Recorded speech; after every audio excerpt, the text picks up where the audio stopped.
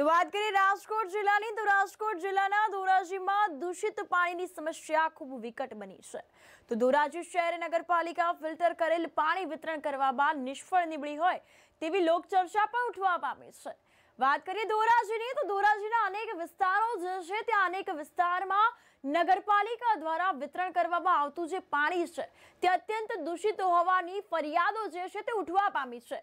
લોકો દૂષિત પાણીના કારણે પેટના દુખાવા તેમજ ચામડીના રોગના શિકાર બન્યા છે. દ્રશ્યો પણ આપ જોઈ રહ્યા છો કે જે ફીણવાળું પાણી છે તે જોવા મળ્યું છે. ડહોળું પાણી જે છે તે પણ દર્શાવી રહ્યું છે. દ્રશ્યોમાં ત્યારે લોકો આ અંતર્ગત ખૂબ હેરાન પરેશાન છે. પાલિકાની ઘોર બેદરકારીનું આ પરિણામ છે તેવું લાગી રહ્યું છે.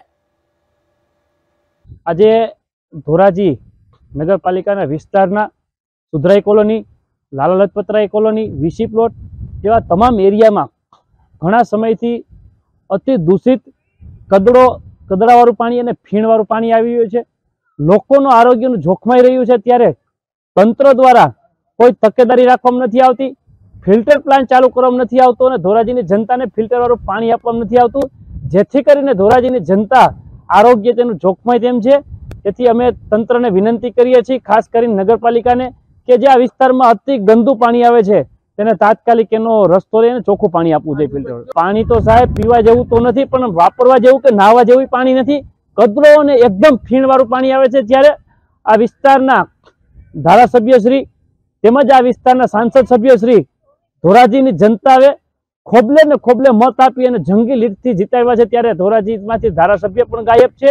તાત્કાલિક ધારાસભ્યએ આના માટે તંત્રને રજૂઆત કરીને એક્શન લેવું જોઈએ. અને જેથી કરીને ધોરાજીની જનતાને ચોખ્ખું પાણી મળે. ચૂંટણી ગયા પછી ધારાસભ્ય ધોરાજીમાંથી ગુમત થઈ ગયેલા છે. પાણી અત્યારે એવું ખરાબ આવે છે કે પીવા લાયક કઈ નથી કે કોઈ રસોઈ થાય નહીં કોઈ કામમાં આવતું નથી. અમે કામ મૂકીને સુધરાઈ ઓફિસે જઈએ કોઈ સુધરાયમાં જવાબ આપતા નથી અમને. આમાં હું અમારા બચ્ચાને અમારું આરોગ્ય બગડે છે અમે બીમાર પડી છીએ અમારા બચ્ચા બીમાર પડે છે. આના માટે અમારે હવે જાવું ક્યાં? કેવું પાણી આવે પાણી હાવ ખરાબ આવે છે. કપડાય નથી ધોવાતા. રસોઈ નથી થતી કાંઈ થતું નથી. શું કરવું?